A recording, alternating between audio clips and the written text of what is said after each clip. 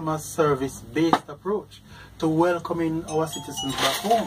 Yes. Um, one of the key considerations is the fact that these persons, the large majority, the overwhelming majority of them, did not commit an offense in Jamaica. Yes. And therefore, they are citizens returning, Yes. though involuntary. Yes. We have a duty to ensure that the reception is of such that we um, we start the process Yes. of, of giving them a feel of reintegration. And certainly there are a number of organizations within Jamaica that are dedicated to working with involuntary return migrants Yeah. um, in terms of um, social needs, social protection, in terms of healthcare. The Ministry of, of Health is a big partner with us. Okay. Whenever we go for our involuntary um, migrants, Yeah. in fact, once a month we get we, we, we pick up the set from the US Yes.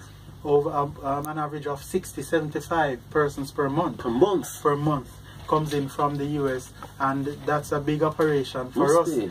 Um, as, as, a, as a JCF and we partner with um, PIOJ, um, the Ministry of Health and a number of um, non-government organizations that are dedicated to working with this group of people so that they can become functional members of society. And and it takes that must be a lot of work because in many instances these persons really have no connection No when connection. they come home. No connection. In my experience, I've seen people leave here at two years old Yes, and are returning at 50, 60 years old.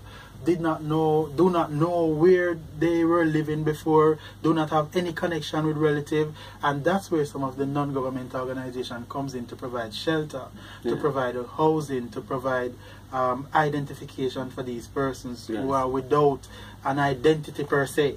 True. True. So it, it is it is a lot of work. The work is expansive, Yes. and we have developed a number of partnerships that are to the benefit of the program that we know. um, follow and the, Yes. the program that has been operationalized. Yes. Sure. And this migration plan goes a far way to develop a structure for how we treat with um, involuntary involuntary return migrants as well as uh, the wider cross section of migrants.